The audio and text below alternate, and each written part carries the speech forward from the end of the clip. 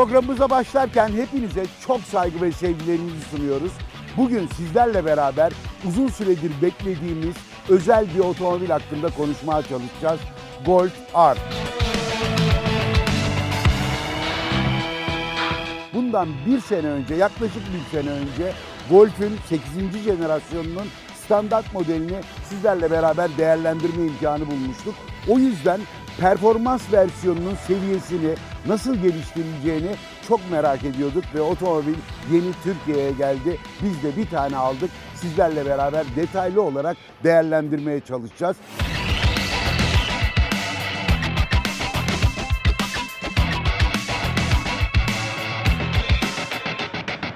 Tabii merak etmemizin bir nedeni de Golf R'ın bütün dünyada performans açısından çok iyi bilinen bir otomobil olması. Hatta daha ileri gidip şunu da söyleyebilirim. Fiyatına göre, fiyat seviyesine göre bir numarada gelen otomobili diyebiliriz. Tıpkı Golf 7 R'daki gibi, bir önceki Golf R'da olduğu gibi 2 litre turbo benzinli motora sahip 320 beygir güç seviyesine yükselmiş. 10 beygirlik güçte bir artış var ama bu o kadar önemli değil. 380 Nm'lik bir torka sahipti Golf 7'nin R versiyonu. Burada 40 Nm'lik bir artış söz konusu ve 420 Nm'ye yükseltilmiş yeni Golf R'ın torku. Resmi değeri 4.7 saniye ama biraz daha aşağıda sıfırdan 100 km saate hızlanmayı gerçekleştirebilir e, diye düşünüyorum. Benim tahminim 4.5 saniye ve altı çünkü kullanımdan o hissiyatı size veriyor. Ayrıca kullanmakta olduğumuz e, yeni Golf R performans paketine sahip olduğu için de maksimum sürati yine e, Volkswagen verilerine göre 270 km saat. Ayrıca tıpkı bir önceki Golf R'da olduğu gibi 4 çeker bir otomobil ama özellikle 4 çeker sistemini konuşmamız lazım. Çünkü burada çok önemli gelişmeler var.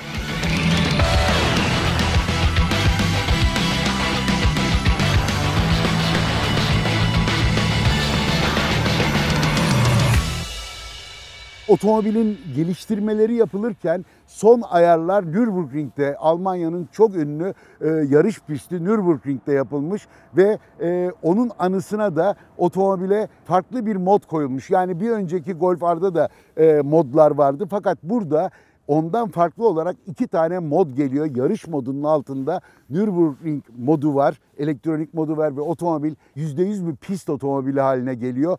Onun dışında Golf R'ın beni en çok etkileyen özelliği de drift modu. Çok önemli fark yaratıyor. Otomobil arkadan itişli bir otomobil haline geliyor. Tabii performans seven insanlar için fevkalade önemli bir mod.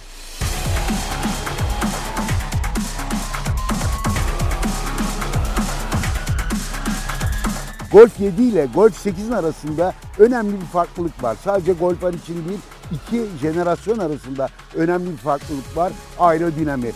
Bir yıl önce yaptığımız programda aerodinamik olarak iki otomobilde değerlendirme imkanı bulmuştuk.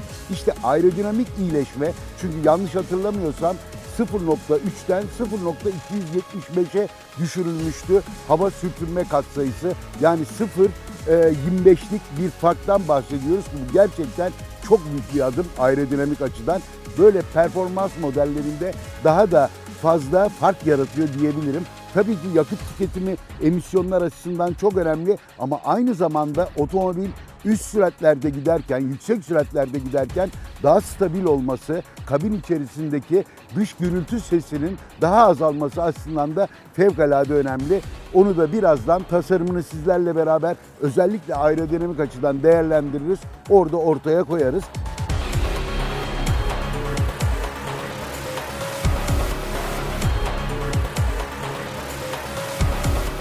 Volkswagen 2002 yılında yanlış hatırlamıyorsam 4. jenerasyon Golf'ün döneminde R32 diye, R32 diye bir model çıkartmıştı. Bizim de çok hoşumuza giden bir otomobildi. 6 silindirliydi. 3200 santimetre küptü. Zaten R32'nin 32'si oradan geliyor. 3200'ü temsil ediyor. V6 şeklinde bir motora sahipti ve 250 beygire yakın e, güç üretiyordu. 4 çekerdi. Yani Golf R'ın başlangıcını bu otomobil kabul edebiliriz. 2005 yılında Golf R Volkswagen ürünleri içerisinde ilk kez çift kavrama vites kutusunu e, kullanan otomobil olarak e, karşımıza çıktı. O da Golf 5 döneminde 6 dönemine geldiğimizde ise e, 2009 yılıydı yanlış hatırlamıyorsam. Önemli bir değişiklik oldu. Bugün sizlerle konuştuğumuz santimetre küpteki motora geçildi. Yani 2 litre turbo 4 silindirli tek sıralı motora geçildi ve hala da öyle devam ediyor ama her Golf R jenerasyonu bir öncekine göre çok önemli değişikliklerle geldi. İşte bunlardan bir tanesi de 5. jenerasyon yeni Golf R. Bir öncekiyle karşılaştırdığımızda hem elektronik açıdan hem platformu açısından hem de performans açısından çok çok önemli farklılıklarla geliyor. Buna emin olabilirsiniz.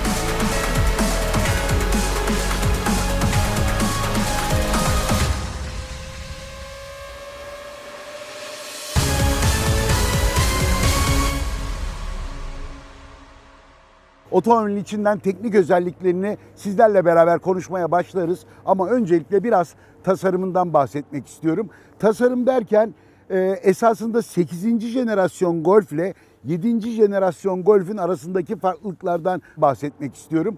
Tasarım prensipleriyle ilgili söyleyeceğimiz şeyler 8'in performans versiyonu yeni Golf R içinde genel olarak geçerlidir. Bir kere dışarıdan otomobil çok yakın görünüyor 7. jenerasyonuna. Boyunun 4 metre 29 santimetre olduğunu görüyoruz. Genişliğinin 1 metre 79 santimetre olduğunu görüyoruz. Ve aks mesafesinin de 2 metre 62 santimetre olduğunu görüyoruz. Ama Golf 7 ile 8 arasında yükseklikte önemli bir fark var. Yaklaşık 3,5 santimetre tavanı maksimum noktasından daha alacak. Maksimum noktasından diyorum çünkü bu açı, bu fark köşelere doğru gittikçe daha da artıyor. Zaten aerodinamiği olan esas katkısı yüksekliğin azalmasının yanında bu köşelerin farklı tasarlanmış olması yüksek süratlerde özellikle otomobilin stabilitesini, rahatlığını çok çok arttırıyor. Daha eğimli bir ön cam, daha yatay bir ön kaput ama ön kaputun uç kısmına gelirken açının arttığını görüyoruz. 7 ile arasında çok önemli bir fark da şu üst ızgara kısmının çok küçülmüş olması, adeta e, kalın bir çizgi haline gelmiş olması. Alttaki ızgara çok daha büyümüş. Amblemin, Volkswagen ambleminin aşağı doğru kaydığını görüyoruz. Ayrıca önemli bir detay farların çok daha inceldiğini ve yanlara doğru daha uzun bir şekilde devam ettiğini görüyoruz. Ön tamponun en alt kısmında aşağıya giden, otomobilin altına giden çünkü bu performans otomobili olduğu için fevkalade önemli bir konu. Altına giden havayı düzenleyen bir spoiler, hava ayıracı olduğunu görüyoruz. Değerlendirmeleri çok doğru yapabilmek için bir tane Golf 7 getirdik. Golf 7'nin arını getirdik. Yine aynı performans versiyonunu ve bu Golf 8'i de yan yana koyduk. Lifte kaldırdık. Altlarına baktım tabii Golf 7 de kapalı ama alt taraftaki aerodinamik hassasiyet fevkalade üst düzeye gelmiş. Hatta bu otomobilde Akrapovic çok özel bir egzoz sistemi var. Performans egzoz sistemi var. Bu tabii isteğe bağlı olarak ayrıca değerlendiriliyor ama beni en çok etkileyen konulardan biri Akrapovic egzozun boruları bile aerodinamik oval şekilde yapılmış. Aşağı kısımda havayla temas eden bölgelerde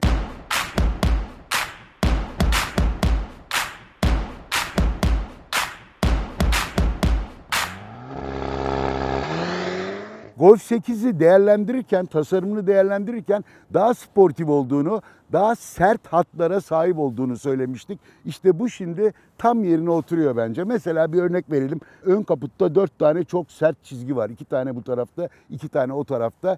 Ee, bu esasında yeni Golf'ün, Golf 8'in özelliği ama Golf R'da performans versiyonunda daha da anlamlı hale geliyor. Otomobilin bel çizgisi tam kapı kollarının merkezinden geçiyor. Ayrıca dikiz aynalarının, dış dikiz aynalarının e, camın üzerinde değil e, otomobilin yan tarafında gövdenin üzerinde, kapının üzerinde konumlandığını görüyoruz. Bunlar da otomobilin aerodinamisine yardımcı olacak şeyler. Bel çizgisi arka stoplara kadar dayanıyor ve orada yine arka tarafta da kırılımların çok sert olduğunu yani sert çizgilerin olduğunu görüyoruz. Golf 7'ye göre en büyük farklarından bir tanesi de bu. Kullanmakta olduğumuz otomobil performans paketine sahip bir otomobil. Çok daha kapasiteli bir arka spoilerin mevcut olduğunu söylememiz lazım. Ona dikkatinizi çekerim. Golf çok yakışan bir konuda arka taraftaki difüzör. Yani biraz önce konuştuğumuz alttan gelen havayı arkadan otomobile herhangi bir çekme kuvveti etki etmeden otomobilin altını tahliye etmesini, boşaltmasını sağlayan difüzör egzozlarla beraber özellikle de Akrapovic egzozlarla beraber çok hoş hale gelmiş.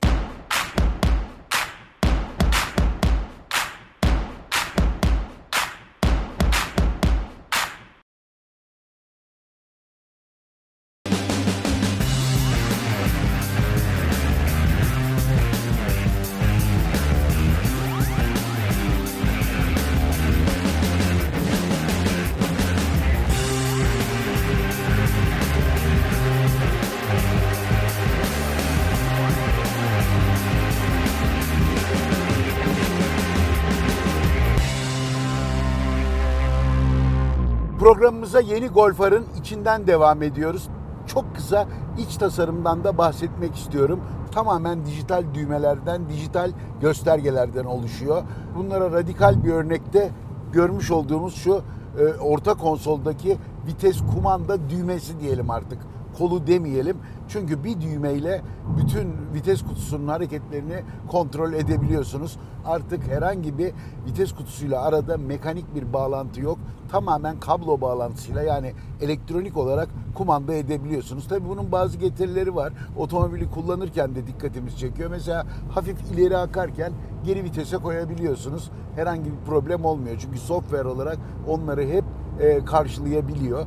Bu otomobilde vitesleri direksiyonun arkasındaki kulakçıklardan değiştirmek fevkalade önemli. Kulakçıkların büyüdüğünü görüyoruz. Yani yakalamak, kumanda etmek bu yeni tasarımla daha da kolaylaşmış. Direksiyonun üzerinde çok fonksiyonlu dijital tuşların olduğunu görüyoruz. Yani birçok fonksiyonu şimdi o detaylara girmeyelim ama direksiyondan hiç elinizi ayırmadan kumanda edebiliyorsunuz. Onun dışında 3 tane dijital düğme grubu var. Direksiyonun sol üst tarafında aydınlatma ve camların e, buz çözücüleriyle alakalı bir düğme grubu. Burada bir tane cam tavanla ve iç aydınlatma ile ilgili gene tamamen dijital e, bir düğme grubu var. Şurada hemen e, bilgi eğlence ekranının altında da çok önemli bir düğme grubu var. Otomobilin modlarını, gösterge tablosunun menüsünü, klimayı, her şeyi buradan kumanda edebiliyorsunuz. Gösterge tablosu ön göğüs yani 7. jenerasyon Golf'ten çok farklı. Hafif bir S şeklinde ve iki tabaka tasarlanmış diyebiliriz kabaca. Birbirinden farklı düzlemdeler. Alttakinin üzerine havalandırma çıkışları koyulmuş. Yukarıda ise dijital ekranlar var. Önümdeki gösterge tablosu konfigürasyonunu istediğiniz gibi değiştirebiliyorsunuz. Diagonalden 26 santimetreden fazla bir büyüklüğe sahip. Bilgi eğlence ekranı da hemen aynı sırada. Zaten 70-80 santimetrelik bir dijital grup gibi görünüyor fonuyla beraber. Golf 8 Volkswagen'in yeni otomobil imalat platformunda imal ediliyor. Tabii ki R modeli de bundan yararlanıyor. MIB3 MIB3 dediğimiz yeni jenerasyon bilgi eğlence sistemi var. Bunun en büyük katkısı otomobile gösterge tablosuyla bilgi eğlence ekranı birçok konuda, birçok fonksiyonda haberleşebiliyor. Yani entegre çalışıyorlar.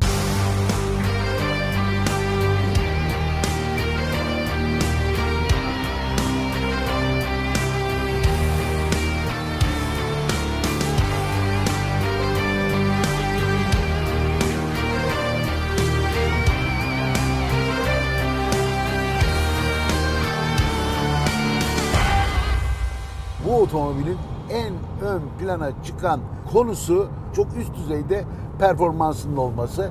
Volkswagen'in uzun süredir birçok markasında kullandığı 2 litrelik e, turbo benzinli motorun olduğunu görüyoruz. Bunu Porsche'den tutun, Seat'ta, Skoda'da, Audi'de hepsinde bu motoru kullanıyorlar. Farklı e, güç düzeylerinde, farklı torklarda ama baz olarak aynı motor. Golf R'da bu motorun en üst güç seviyesine ulaştığını görüyoruz. 5350 devirde 320 beygir güç üretiyor. Bir önceki Golf R'la karşılaştırdığınızda burada yaklaşık 10 beygirlik bir artış söz konusu. Ama benim söylemek istediğim başta belirtmiştim zaten bu değil. Esas çok etkileyici bir tork değeri var. 2100 devirle 5350 devir arasında yani neredeyse otomobilin tüm kullanım devir aralığında torkunun 420 Newton metre seviyesine getirildiğini görüyoruz. 380 Newton metreydi bir öncekinde. Şimdi 420 Newton metreye çıktı.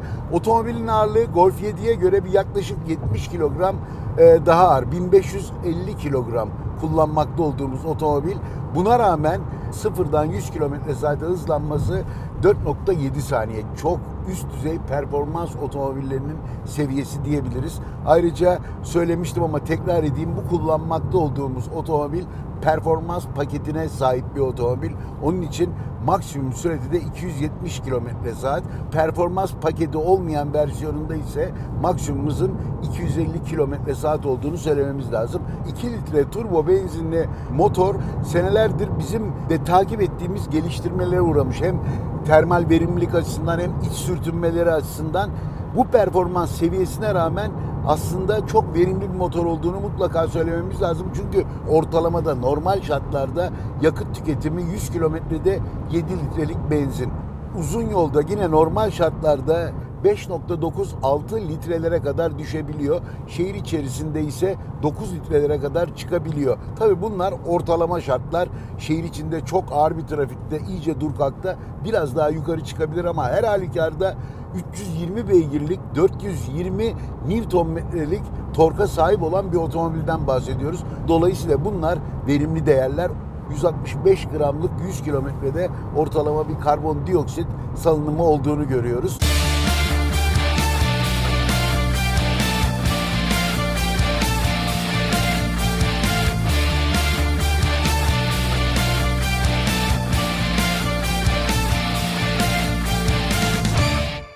Golf 7 benim gerçekten çok iyi tanıdığım bir otomobildir. Bundan önceki Golf R, 7. jenerasyonun Golf R'ı mesela onun frenleri buna göre bence karşılaştırılamayacak şekilde gerideydi. Ama bu yeni otomobilde frenlerin disklerin hem çap olarak büyüdüğünü hem de çok daha kapasiteli havalandırmalı fren disklerinin kullanıldığını ve kaliperlerinde çok daha kapasiteli seçildiğini görüyoruz. Dolayısıyla Golf R bu performansının yanında bunu karşılayabilecek bir fren gücüne de kavuşmuş oluyor. Bizi etkileyen en önemli özelliklerinden bir tanesi de buydu diyebiliriz. Ama şimdi modlardan bahsetmenin zamanı geldi. Önümüze dört tane mod çıkıyor. Konfor, spor, yarış ve kişiselleştirme modu. Kişiselleştirme modunda performans otomobili olduğu için insanlar kendilerine uyacak seviyede otomobili çeşitli parametrelerini ayarlayıp ona göre kullanabiliyorlar. Kendi kabiliyetleri, kendi kullanım zevklerine paralel olarak günlük hayatınızda kullanmak için bence seçmek durumunda olduğunuz mod konfor modu aynı zamanda ekonomi modu. Çünkü modlar birbirinden çok ciddi farklılıklar gösteriyor. Kullanım karakteristiği olarak. Otomobilde motor gücünün ve torkunun tekerleklere gidişi değişiyor. Spor modları, performans modlarınız seçtiğinizde çok daha agresif, konfor modunu seçtiğinizde çok daha uysal hale geliyor. Bu motor gücünün ve torkunun tekerleklere verilişi 7 ileri DSG çift kavrama vites kutusunun çalışma tarzı fevkalade farklı modlar arasında. Mesela yarış modunu aldığınızda çabuk vites değiştirmiyor. Torku kullanmak için düşük viteslerde kalıyor ve devri uzatıyor. İnanın bana gerçekten performans seven bir insan için çok çok keyifli ama konfor modunu alıyorum. Gerçekten de otomobilin süspansiyonundan tutun, direksiyon davranışından tutun, gücünden, torkundan ve vites kutusu karakteristiklerinden her şey konfora göre ayarlanıyor. Konfordan daha sonra spor modu var. Bence bu otomobilin normal modu. Yani diğer otomobillerde normal mod olarak e, konuştuğumuz şey burada spor modu. Optimum seviyede e, sportif sürüş sağlıyor. Biraz önce söylediğim parametreler açısından. Ayrıca ondan sonra pist modu var ki bundan bahsetmek istiyorum. Pist yarış modu çok önemli farklar getiriyor. İki tane mod seçimi geliyor. Bir tanesi drift modu, bir tanesi de özel Nürburgring modu. Söylediğim gibi otomobil geliştirilirken son ayarları safkan bir yarış pisti olan Nürburgring'de yapılmış. Dolayısıyla onu andıran bir mod var ve tamamen pist kullanımı için, yarış pistinde kullanmak için otomobilin çekiş kontrol sistemi, süspansiyonu, ABS ve buna benzer diğer sistemleri sürücüye minimum desteği sağlayarak sürücünün kabiliyetinin, performansının çok daha fazla ön plana çıkmasını sağlıyor. Tabii ki direksiyonu, vites kutusu davranışlarında etkilemek lazım ve vitesleri manuel olarak değiştirebiliyorsunuz. Otomatik olarak gidemiyorsunuz gördüğüm kadarıyla. Tabii bence en önemli özelliklerinden bir tanesi de söylediğim gibi otomobilde Akrapovic egzoz var ve bu modda manuelde kullanıyorsunuz otomobili. Müthiş bir motor sesi, müthiş bir egzoz sesi. Ayrıca gazdan ayağınızı çektiğinizde pat pat pat diye böyle egzozun sübap bindirme sesi var. Bu da gerçekten performans seven bir insan için çok hoş bir durum.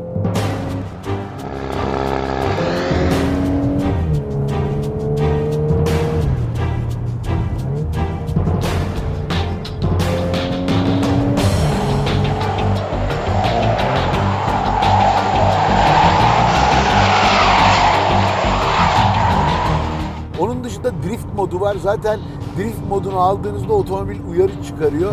Kesinlikle trafiğe kapalı bir alanda bunu yapmanız gerekiyor. Söylediğim gibi otomobilin 320 be- beygirlik gücünü, 420 Nm'lik torkunu tamamen %100 arka tekerleğe yönlendiriyor ve otomobil arkadan itişli olarak hareket ediyor. Eğer e, çekiş kontrolü de kapatırsanız gerçekten mükemmel bir drift otomobili haline geliyor. Yeni Golf R'ın en önemli özelliği diyebilirim. Drift seven insanlar için efsane bir otomobil haline geliyor. Ama bunu bildiğim için size söylediğim gibi iki tane Golf R'ı bir 7'yi bir de 8'i yani bundan bir öncekiyle bu otomobili lifte kaldırdık. Diferansiyellerine bakmak istedim ve şunu söyleyeyim size çok farklı yapısal olarak çok farklı olduğunu gördüm bir öncekine göre. Bir kere çok önemli bir fonksiyon eklenmiş diferansiyel çıkışından sonra sağa ve sola giden aksların üzerinde kavrama var. Hem sağda hem solda kavrama var. Yani şunu söylemeye çalışıyorum. Otomobil elektronik olarak e, ön arka güç dağılımını sağlıyor ama bunun yanında arka sağ sol tekerlere giden güç dağılımını da sağlıyor. Bu da tabii müthiş bir viraj performansı getiriyor torque vectoring olarak bahsettiğimiz konu. Yani mesela sert bir şekilde virajı hızlı dönmek istiyorsunuz. Viraja girdiğiniz zaman kafadan kaymayı engelleyecek şekilde arka tekerde girdiğiniz virajın ters yönünde kalan tekerleğe daha fazla tork etki ettirerek viraja daha rahat girmenizi sağlıyor. Bu şekilde otomobilin vektörel olarak düzelmesini sağlıyor. Bu işte yeni Golf R'ın en önemli özelliklerinden biri diyebilirim. Arkadan itişli, %100 arkadan itişli olabilmesi artı arkada sağ sol tekere giden torku da ayarlayabilmesi de, e, elektronik debriyajlarla en önemli özelliği diyebilirim. Otomobilin sürüş karakteristiğini çok daha güvenli bir hale getirmiş. Yani virajlarda gerçekten de inanamıyorsunuz. Tabii bu, bu sistemi bilmeyen arkadaşlarımız ben ne kadar güzel otomobil kullanıyorum diyebilirler ama gerçekten otomobilin bu teknolojisinde çok büyük katkısı olacaktır. Ayrıca bu sadece drift modu için değil, bütün kullanım için geçerli. Hangi modda olursa olsun bu şekilde torque vectoring'i ayarlayabiliyor. Golf R'ın en önemli özelliklerinden bir tanesi.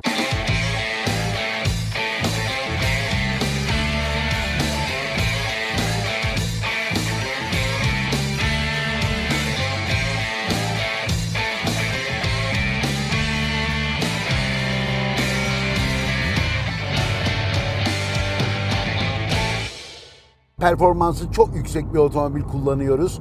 Golf hakkında söylenecek, konuşulacak o kadar çok şey var ki ancak programımızın da sonuna gelmiş bulunuyoruz. Yeni Golf içinden hepinize çok saygı ve sevgilerimizi sunarken bugünkü programımıza son veriyoruz.